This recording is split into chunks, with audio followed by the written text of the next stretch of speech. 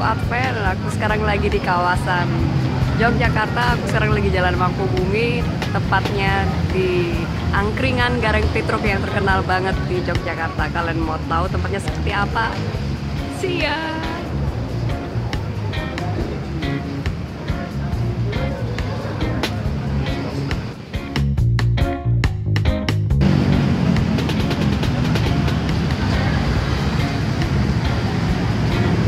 Tuh tempatnya rame banget kan dan kalian kalau mau ke sini kalian mesti datang jam 5 supaya nggak ngantri-ngantri. Oke, sekian infonya. See you.